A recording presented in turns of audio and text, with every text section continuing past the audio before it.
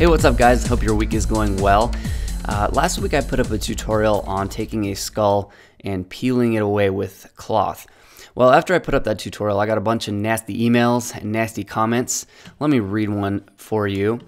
I was really excited to follow this tutorial until I realized that you actually never go into how you can create the effect. Well, I can't handle the anger and the hatred anymore, so I'm just going to go over um, all the settings that I use for this. Um, before I get started, I want to show you a really cool thing I found on Vimeo. This is a really cool cloth tearing effect, uh, showing an old couch and then tearing it across to reveal the new one. So we're going to do an effect sort of similar to that. Um, which will be really cool. So let's jump into Cinema and get started. All right, so we're going to take a piece of text and we're going to peel it away. Um, we have a new trailer text pack, which is why we're doing text because I have to promote it in order to feed my family. Uh, so we're just going to pick the simple one. So this is our simple metal uh, text. It's very basic, but it has some great textures and lighting on it. So let's get started. First thing I'm going to do is I'm just going to use uh, one of the letters, so that'll be a little bit faster uh, for the tutorial. All right, let's change our mode from uh, Gouraud to Gouraud shading. And the first thing you need to know when you're going to tear cloth is that you need a lot of subdivisions. And you can see that this guy does not have very many. So we're gonna have to go into our text and add a bunch of subdivisions. And there's two ways that we're gonna do that. The first part is on the caps. So on the caps, we're gonna change it from n-gons to um, quadrangles, I guess. And we're gonna check on regular grid. And then we're gonna mess around with the width so that we get some nice subdivision, something like that. And then you can also see that on the sides, we don't have very much subdivision.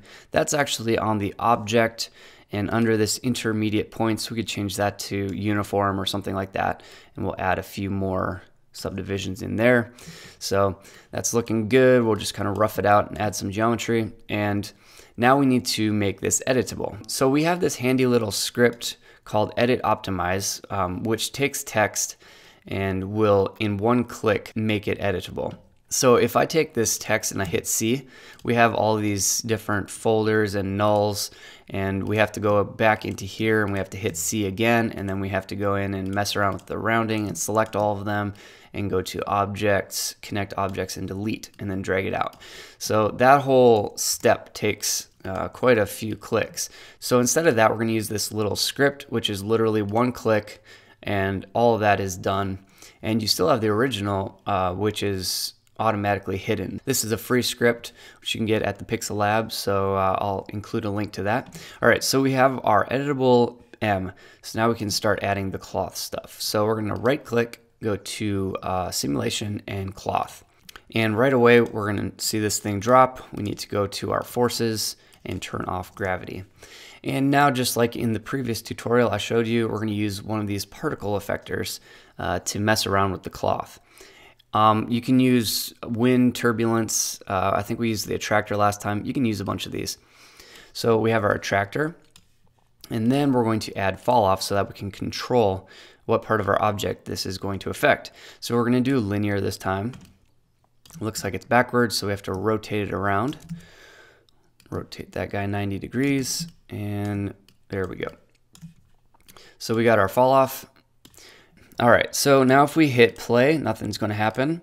Um, we need to go to our cloth tag and go to the expert tab and we have this include slot and we have to drag that attractor into it so that it'll affect it. And now if we hit play, you can see that everything is getting sucked into the middle. That's because our attractor is sucking it in. Um, we can just reverse that and do minus 10 and then it's going to push it out from the center. So now we're getting a really cool effect. Okay, so here's, let's increase the frames actually. So here's when we need this to tear. Um, and this is when some people started getting mad at me because I didn't explain this fully. So here's what we're gonna do. We're gonna go to the tag and we're gonna go to um, the tag tab and we have this little slot called use tear. And we're gonna click that on. And now if we do this, uh, you're gonna start getting some sort of janky artifacting. And let's actually mess around with the tear settings a little bit. So if we mess around with these guys till we get something a little hectic, so we're starting to get a little bit more crazy, getting those polygons shooting out, which is very strange and looks terrible. Um, but that's actually what we want. So let's just try this for now. So the reason that um, it's not looking good is that we need to put this text inside of a simulate cloth cloth surface. So if we drag the text into there, now we can start to see the final result. So it's still looking a little janky. Uh, we're gonna go ahead and play with our tear a little bit more until we get it to the point where it, the uh, the force is strong enough to actually rip the cloth. That's what this uh, this tear uh, percentage is. It's at what point when the, the uh, polygons are stretched away from each other will they rip and separate from each other. So this uh, percentage is very important. It'll change everything about your animation. So if we drop it down a little bit, you can see that it kind of breaks at that point. So you just have to find that sweet spot where uh, we're ripping off the little pieces. So that's looking really good. And from here, all we have to do is take that attractor and move it off to the side, make a keyframe, go to, I don't know, 80 frames and have it pass through, make another keyframe and we'll see what that looks like. So this is actually a really cool way to do something like a bullet tear, a bullet uh, kind of passing through an object.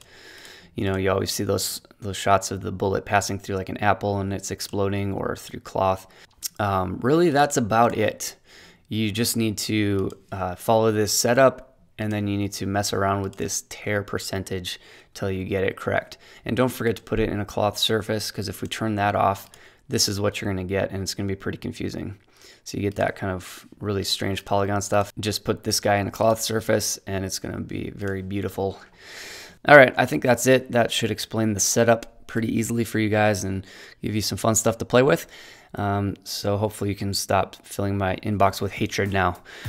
All right, enjoy the rest of your week. We'll talk to you next time.